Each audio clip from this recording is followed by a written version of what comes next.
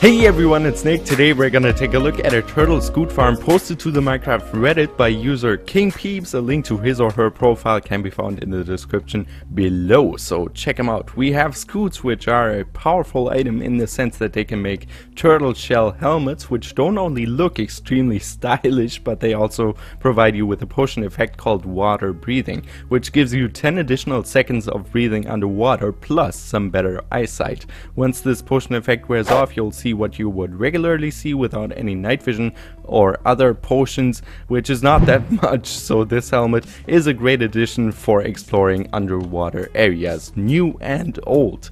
Now the best thing about this farm is that you don't have to kill any turtles, you will have to make more. And that is because scutes are dropped when the babies turn into adults. So we have some babies down here which are waiting to grow up and then they drop their scute, it is collected and we get to have a little bit of a sanctuary effect because as I said we're creating more, we're doing something good for the turtle population which is always nice other than different farms in Minecraft. Alright, so the basic concept is that we get yours, or you would get yourself two or more turtles either from land or from the water and transport them here, for example by boat, and then they will lay their eggs after you bred them. After about six in-game nights they will hatch, go into the water, grow up, drop their scute, it's collected by hoppers and you're good to go. Now, some more detail.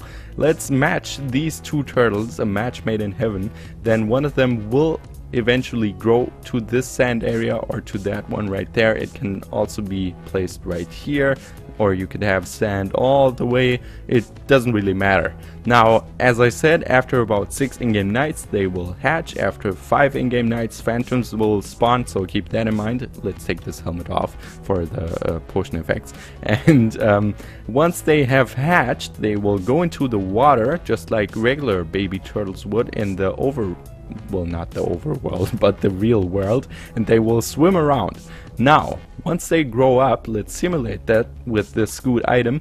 They will drop their item it will float up because of the new water mechanics and the streams will flush it into this uh, row of prismarine slabs which has hoppers hidden underneath it which all feed into this chest this farm is built in a way so that the babies will stay in here but the adults can go out because they are larger obviously and they can swim into the ocean.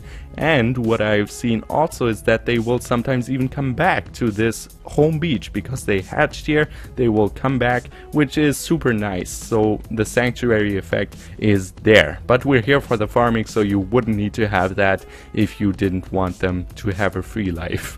Um, well, that's the basic concept explained. One more thing I'd like to add is that we have slabs on top of these eggs here. As of this version, this is snapshot 18 week 08A, the zombies and other mobs that want to kill these eggs or trample them will still be able to do that on top of these slabs. I'm pretty sure that's a bug and if not, just add a fence around it and then you're good to go. So protect those eggs from any unwanted mobs. And then they will go into the water, swim around, uh, make sure to play around enough with this water. It's important to have source blocks underneath here so that the items float up and if you only placed water up there, it, the water would be flowing down and the items would also stay down. So keep that in mind, really important because you don't want to lose any of your scute. Seagrass is also pretty cheap to breed them, so it is quite a uh, well, quite an easy way to get scutes. Once you have found two turtles, you can just breed them. They will lay eggs, and then you will have almost an infinite amount of scutes when you have an infinite amount of seagrass. That is the basic concept of this farm. You can make this smaller, larger, whatever. It's more about the concept and not the farm design, and that's why I'm not gonna do a full tutorial on this.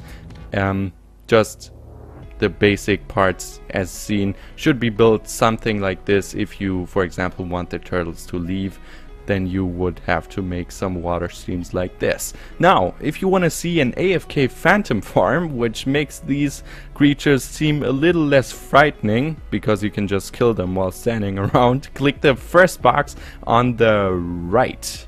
Yeah, that's the right. And the second box will be another 1.13 related video. So check that out, click the round icon with my face in it to subscribe, and I'm happy to see you in the next video. Have a good day, bye bye.